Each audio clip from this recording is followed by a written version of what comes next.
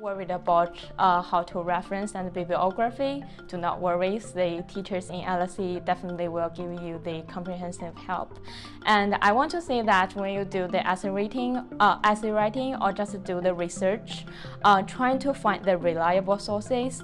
And uh, when you use the reliable sources there, do not forget to uh, keep the reference like the website, the author name, uh, the year he or she write down this knowledge, something like this. And also, do not forget to learn the correct format to do the reference and the bibliography.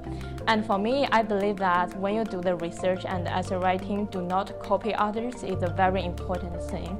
So please uh, learn how to do the reference and the bibliography correctly and also use the reliable sources to make sure your knowledge and the information is um, correct.